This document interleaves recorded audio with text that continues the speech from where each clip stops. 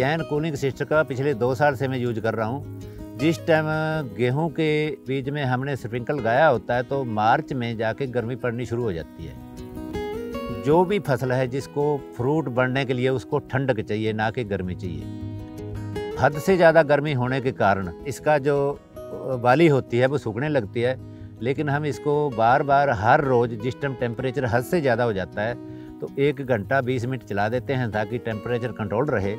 तो Jain cooling system, इसको cooling system बोलते हैं। जब गर्मी के टाइम हम इसको थोड़ा ठंडक करें, फुहारा चला दें, स्प्रिंकल चला दें तो ठंडक हो जाती है। इससे एक तो टाइम पीरियड इसका पकने का बढ़ जाता है गेहूँ का, और एक इसका दाना जो टाइम पे पूरा बन पाता है, सूखता नहीं है गर्मी के कारण। पंजाब हरियाणा में वाटर टेबल इतना नीचे गिर रहा है, हर साल एक मीटर नीचे डाला जाता है। तो अगर 20 साल में 60 मीटर नीचे चला गया तो पानी कहाँ से लेंगे? और जो हमारा स्टॉक है पानी का, ये ऊपर की सतह तक ही अच्छा पानी है। इससे नीचे जो 300 फुट 400 फुट से नीचे जो स्टॉक है, बिल्कुल कम है। अगर ऊपर वाला हमारा स्टॉक जो भंडार खत्म हो गया तो नीचे वाला स्टॉक ज़्यादा देर चलने वाला नहीं है।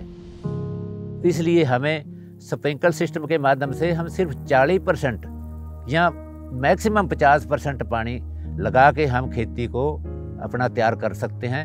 अगर हम हर साल 50 परसेंट पानी बचा लें तो हमारा वाटर टेबल कभी भी नीचे नहीं जाएगा।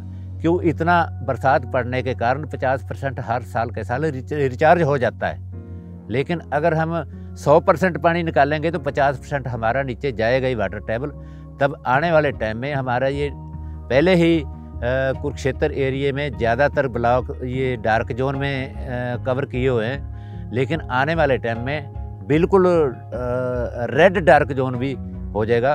उसके बाद मतलब कोई बोर भी नहीं कर पाएगा पानी निकाल भी नहीं पाएगा।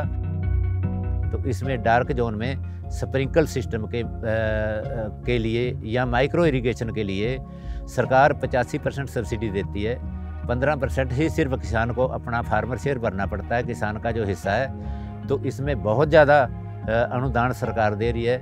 किसानों को भी चाहिए कि हम इस अनुदान का लाभ उठा सकें और आने वाले टाइम में, भविष्य में जो पानी का बचाव है तो उसको कर सकें ताकि हम अपने बच्चों को पानी का जीवन दान दे सकें। 2018 में 17-18 में मैंने मिनी स्प्रिंकल दिया जो एक बार ही हम खेत में लगा देते हैं और जब फ़सल काटनी है, उस टाइम हम उसको फिर उठाते हैं। तो ये बार बार हमें उठाना नहीं पड़ता और इसकी क्वालिटी इतनी बढ़िया है ये पंद्रह बीस साल तक तो आराम से ही चल पाएगा। इसकी क्वालिटी के कारण ही हम जैन से जुड़े हैं, और भी कई कंपनियाँ आ रही हैं, लेकिन उनकी क्वालिटी हमें इतनी बढ़िया नहीं लगी। जैन वालों का बार बार यहाँ भ्रमण होता रहता है, हमें गाइड भी करते रहते हैं टाइम टू टाइम तो जैसे भी जिस तरीके से हमें गाइड करते हैं, हम उसी तरीके से ही आगे ये काम करते हैं, और हम, उसका लाभ भी होता है। आठ एकड़ मेरे पास खेती है। आठ एकड़ में ही मैंने स्प्रिंकल सिस्टम लगाया हुआ है। जो मस्टर्ड का पहले था मेरा, सरसों का और तोरिए का, वो मेरा झाड़ आम नॉर्मल से दो क्विंटल पर, प्रति एकड़ फालतू निकला है। मेरा आठ क्विंटल मंडी में तुला है जाके, जबकि एवरेज बिना स्प्रिंकल के पाँच से छः क्विंटल आई है सभी लोग गेहूँ में उत्पादन मेरा पिछले साल का जो रहा है बाईस क्विंटल, तेईस क्विंटल रहा है आम नॉर्मल फ़सल का। जबकि बराबर में लगी हुई जो भी फ़सल थी फ्लड इरीगेशन वाली, उनका 20 क्विंटल 19 क्विंटल से 20 क्विंटल रहा है।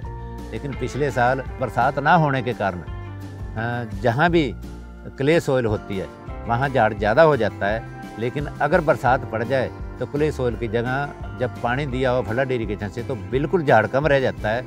वो आठ, नौ या दस क्विंटल के ऊपर आ जाती है। लेकिन पिछले साल नॉर्मल झाड़ भी ठीक रहा, लेकिन स्प्रिंकल सिस्टम से तो और भी दो क्विंटल ज़्यादा निकल रहा।